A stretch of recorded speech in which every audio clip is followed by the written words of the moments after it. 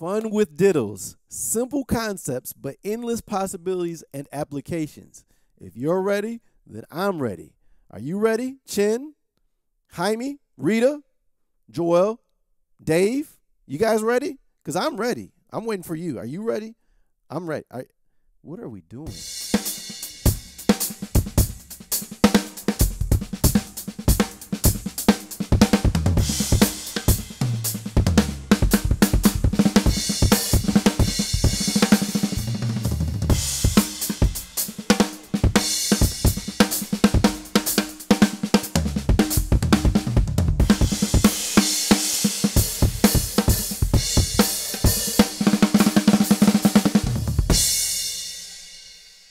Hey everyone, welcome back to another Jazz Drummer Q-Tip of the week. My name is Quincy Davis. If you're new, thank you so much for stopping by. Hopefully you'll enjoy this lesson enough to press that like button and please consider subscribing because I put out a lot of videos and lessons that I think you'll find helpful. All right, so those of you who follow me probably already noticed that I'm on a bit of a different setup than I normally am. Normally I have my jazz drums out, my jazz sizes, uh, much smaller.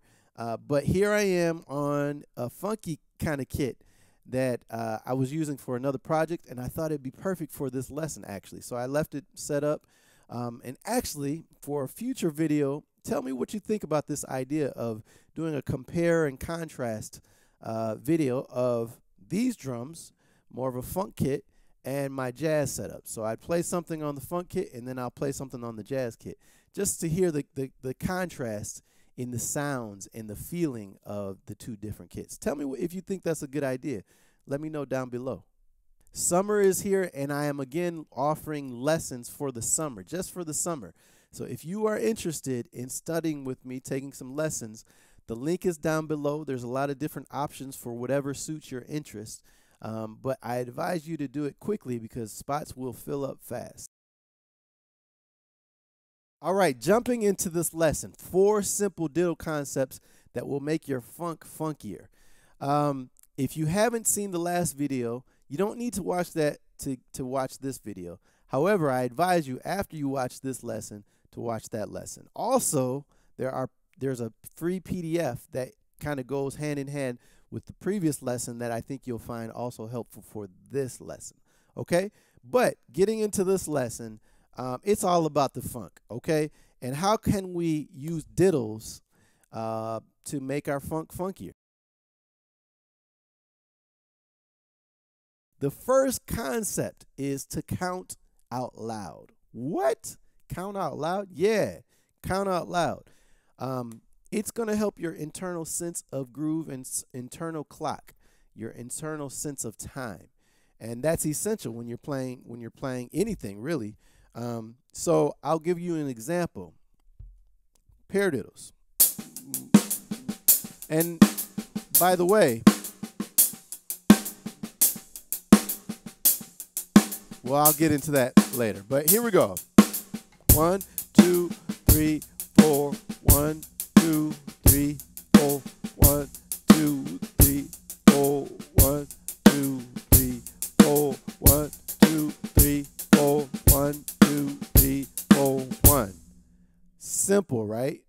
Too difficult. Now, it's when we get into the later concept of displacing those diddles, those paradiddles, that it gets a little trickier to count. But in general, if you can work on counting while you play your ideas, it's going to make your ideas kind of sit more into in the grid, whatever you play, because you're feeling what you're playing, or you're playing, you're feeling the pulse better. Um, and it's just going to help your overall sense of, of groove and, and uh, your idea of what is happening with the time. So I encourage you to just count one, two, three, four, one, two, three, four, one, two, three, four, and have fun with it. Concept number two displace your diddles with the bass drum. So this is where it gets trickier to count out loud, but I still want you to try to do it. Okay, so I'll demonstrate what that would sound like. So you can displace your, your diddles with either one note in the bass drum or two notes in the bass drum. First, we'll start out with just one note. I'm just using pair paradiddles, but you can apply this to paradiddle diddles and double paradiddles. So here we go. Uh, one measure of pair paradiddles, then we're going to displace it with the bass drum with one note, then we're going to play one measure again, essentially. We'll call it one set. Okay, so one, two, three, four, bass drum, and then and then we're gonna play the whole set again, bass drum. Okay, uh, essentially that works out to be 17 notes, which that's why it's tricky to count. But this is what it sounds like in time. Never lose the sense of one of of the pulse. That's key. Two, three, four. One, two, three, four. One, two, three, four. One, two, three, four. One, two, three, four. One, two, three, four. One, two, three, four. One, two, three, four. One, two, three, four. And also, you want to make sure that you come out on beat one, okay? No matter where you are in the uh, whatever partials you're playing off of, you always want to come out to beat one. Okay, that way it forces you to organize your hands and organize your get out scheme. You got to have a good get out scheme. Uh, getaway. That's that's what they call in the action films. You got to have a good getaway um, in order to make sure you you're not getting off. You're not losing your your sense of uh, the quarter note or the pulse. Okay, so it's like, and you should feel comfortable to come out on that side or that side, right? So there you go. Displace that's displacing the paradiddles with one note in the bass drum. What about two notes? One, two, three, four. One, two, three, four. One, two, three, four. One, two, three, four. One, two, three, ooh. One, two, three, four. One, two, three, four. One, two, three, four. One, two, three, two. Okay? And I was putting it into a four measure construct or form to keep myself honest, right? So we can kind of get off into the displacement aspect with with but losing our wherewithal with where we are in the form or a certain amount of measures, phrasing, right? So so I would recommend doing that. Whatever you practice, make sure you say, okay, I'm going to put this in a four measure form or an eight measure form and then make sure you get out on the what? downbeat. That's very, very important, either here or there. Okay, so there you go.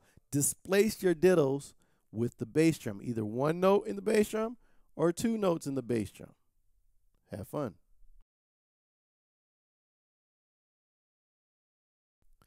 Okay, so this is kind of concept uh, 2A, let's let's say, okay? Um, instead of placing the bass drum in between your diddles, play your bass drum with your hands at times. So it would be like this. And so it'd be like You see what I'm doing? And then So you can kind of add the bass drum at random, whatever feels the funkiest, honestly. So that's kind of what I'll do.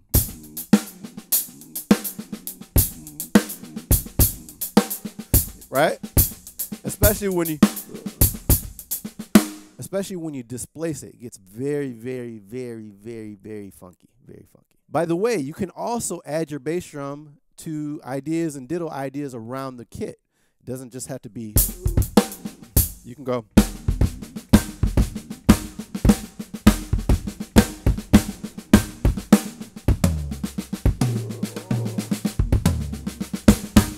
See what I'm doing?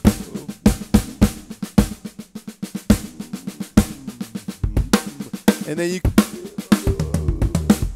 and then you couple it with the idea of filling in uh, the holes with the bass drum. It gets really interesting when you when you're kind of playing with those two concepts. Okay, so have fun with the bass drum, integrating it with these diddle concepts. Concept number three This is crucial, and it's not just limited to when you're playing diddles. It's whenever you're playing anything. Accents, accents, accents. They are so important. I think of accents uh, as a word that's synonymous with attitude.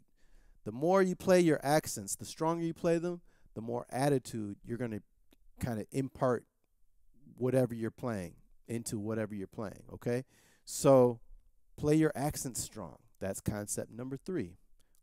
You can see. You see it? You can see how strong I'm playing them, right? And it may seem like I'm playing really loud, but what's what's making it sound not so loud is the touch, but also the the contrast of the accents and the non-accents. In funk, it's so important that you have these kind of ghost notes um, going on underneath to add feel. It's not to add anything other than just feel um, and extra vibe, I guess you could call it. So, but notice the accents. So even that's how you should practice on the snare drum. No different when you when you go to play it in a groove. Right? Paradiddles.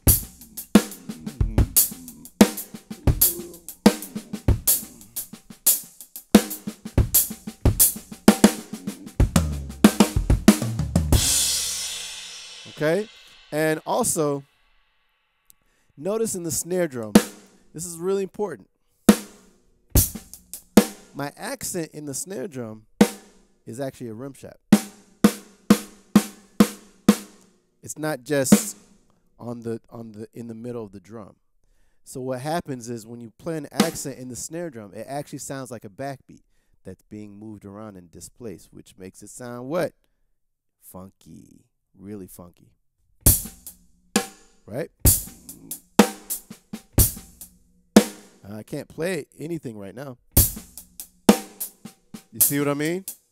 Every time I hit that accent, I'm really trying to get that sound. Um, adds a lot more attitude and funky funkiness.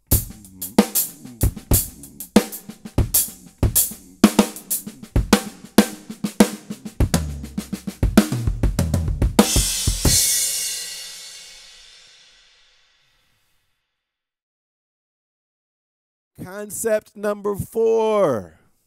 All right, this is this is a fun one. Play your ideas open-handed, right? We get used to playing funky and funk like this. But what about this? Or so I'm just gonna I'm gonna play some ideas like this.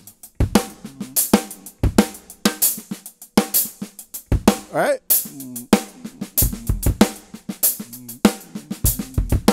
Oh.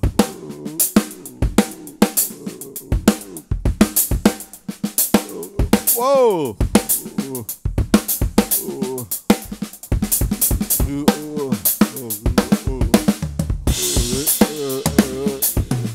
And then you see what happens is now your hands are open, so you can actually access the toms e even easier than if you're if you're constantly crossing.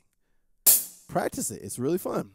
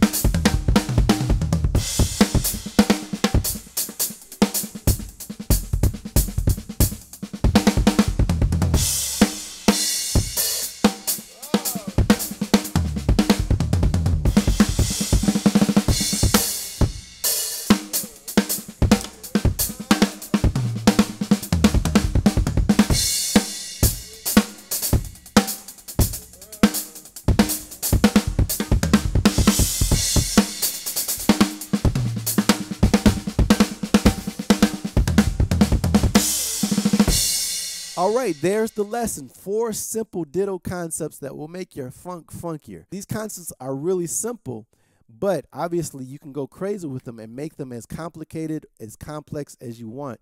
And of course, come up with your own applications and approaches.